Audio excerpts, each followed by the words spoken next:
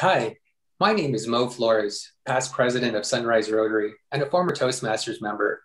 I'm excited our two organizations are teaming up and hope you will be, uh, will be too. As a former Toastmasters member, I learned many valuable speaking skills.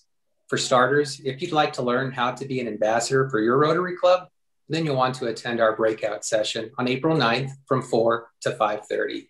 Please let others know. It'll be great to see many familiar faces. Thank you. Do you want to know more about the Rotary Toastmaster Alliance? My name is TK O'Geary, and I'm a member of the board of directors at Toastmasters International. I'm also a 32 year Toastmaster and a native New Mexican. If you attend the session, you're going to walk away with how you can maximize the opportunities between Rotary and Toastmasters, where you can find a Toastmaster club in your district, as well as some tips and tricks that you can use in your next Rotary presentation.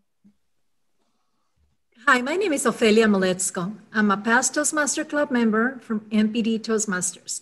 I'm also past president of the Westside Rotary Club and founding president of the Zaragoza Rotary Club, all here in sunny El Paso.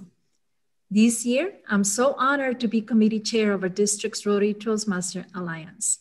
I would love to extend you an invitation to visit with us on Friday, April the 9th, during district conference. I'm sure you will have a wonderful experience.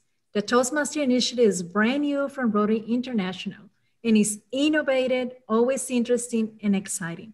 Something we can all use in Rotary as well in our daily professional and personal life. Hope you can join us at the district conference. If you do, be sure to stop by and visit us at our breakout session. Hope to see you there.